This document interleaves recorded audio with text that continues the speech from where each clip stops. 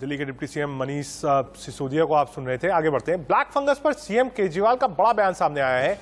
दिल्ली के पास black fungus की दवाई नहीं है। केजरीवाल ने कहा है, ब्लैक फंगस के लिए अलग से केंद्र बना रहे हैं। 2000 इंजेक्शन की इस वक्त ज़रूरत है। सिर्फ़ 200 मिल रहे हैं। वैक्सीन का उत्पादन बढ़ाने की ज़रूरत है, ये कहना है दिल्ली के मुख्यमंत्री अरविंद केजरीवाल का। केसेस दिल्ली और एनसीआर में बढ़े हैं। कई लोगों की मौत भी हुई है एम्स में। अरविंद केजरीवाल ने तीन डेडिकेटेड हॉस्पिटल्स भी बनाए हैं ब्लैक फंगस के इलाज के लिए, लेकिन अब उनका साफ़ कहना है कि जो इंजेक्शन चाहिए, वो इंजेक्शन फ़िलहाल दिल्ली के पास नहीं है। केंद्र सरकार को इसका उत्पादन बढ़ाना चाहिए। लिए हमने तो अपने सेंटर्स बना दिए हैं। अभी अभी आते टाइम भी मैं रिपोर्ट ले रहा था, एल के अंदर जीपीबी के, राजीव गांधी के अंदर हम अपने सेंटर्स बना दिए हैं। लेकिन दवाई नहीं है।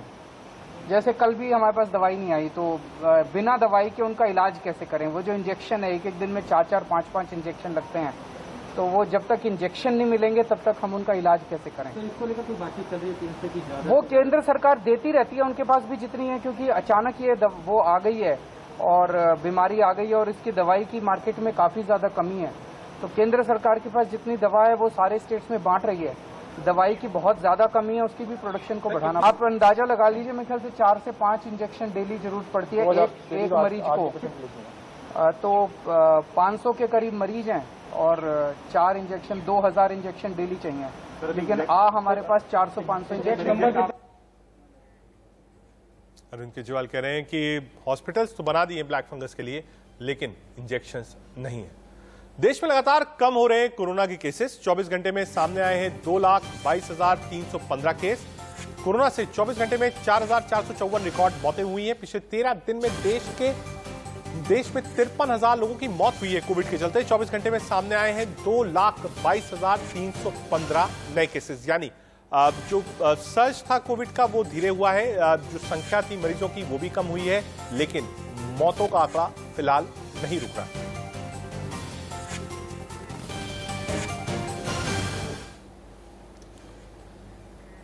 लॉकडाउन और कोरोना की मार ने आम आदमी की कमर तोड़ दी है। वहीं सरकारी सिस्टम की पोल भी खोल दी है। आपको चार तस्वीरें दिखा रहे हैं, जहाँ लोग आज भी कोरोना से खौफजदा हैं। वहीं बिहार में सरकारी अस्पतालों की हालत सरकार की पोल खोल रही है। जी हाँ दिल्ली की है। आप देखिए, लॉकडाउन की मार है, सारी शॉप्स बंद है।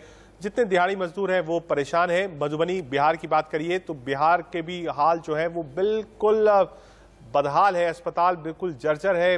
कागजों में अस्पताल चल रहे हैं, दवाइयाँ नहीं है, ऑक्सीजन नहीं है, ब्लैक फंगस के ट्रीटमेंट में जो इंजेक्शन चाहिए, वो भी नहीं है। गुवाहाटी की आपको तस्वीर दिखा रहे हैं, गुवाहाटी में क्या हो रहा है? टेस्ट से लोग भाग रहे हैं, जो लोग रेलवे स्टेशन से एयरपोर्ट से आते हैं, वहाँ टेस्ट कराना मैंडेटरी है, लेकिन लोग सिर्फ़ भाग रहे हैं और चेन्नई, जी हाँ साउथ की तस्वीर, सड़कों पर सन्नाटा पसरा हुआ है। जी हाँ कोविड के चलते चार तस्वीरें देश के चार हिस्सों की। बड़ी खबर का रुख कर लेते हैं। दिल्ली एनसीआर में लगातार बढ़ रहे हैं black fungus cases. GDP Delhi में 21 एलएनजेपी में 15 नोएडा में एक दिन में 10 मामले से हड़कंप है।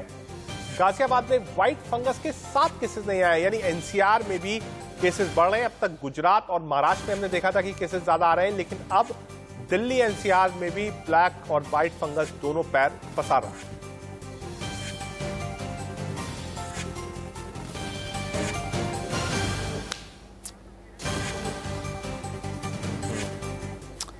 तस्वीरों के ज़रिए आपको बता रहे हैं कहाँ कहाँ कितने कितने केसेस हैं। नोएडा, दस केसेस आए हैं। ब्लैक फंगस के गाजियाबाद में सात केसेस आए हैं। अब गुरुग्राम की बात करिए तो एक सौ उनचास केस हैं अब तक गुरुग्राम में।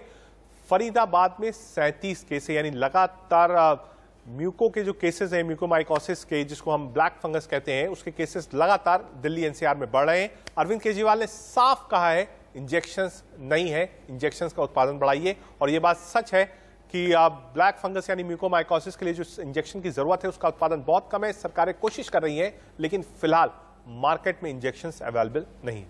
एक छोटा सा ब्रेक आप देखते रहिए इंडिया न्यूज़।